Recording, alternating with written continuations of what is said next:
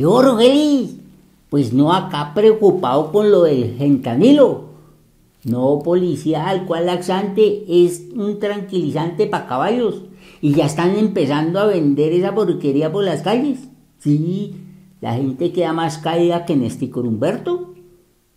No, colega, uno puede ser rebuscador y emprendedor del negocio, pero tiene sus límites. Sí, no queda uno como un cuero, como un angulo, como un aval que le hace a lo que sea. No, no, no. Yo prefiero lo de siempre, proteger las ollitas, a los jibaritos, pero que no vendan esa vaina que van a acabar hasta con los gringos. ¿Qué va? El bazuco es gelatina de pata al lado de eso.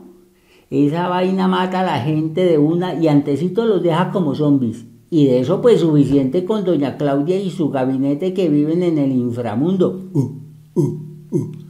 Y no se dan cuenta de que la capital está desbaratada física y moralmente.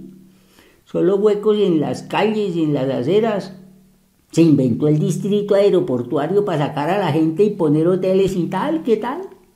Sí, Rugeles, y que la culpa de la inseguridad es de uno, que no hacemos nada, que no hay suficientes policiales y qué tales. La señora gritona no haya quien echarle la culpa.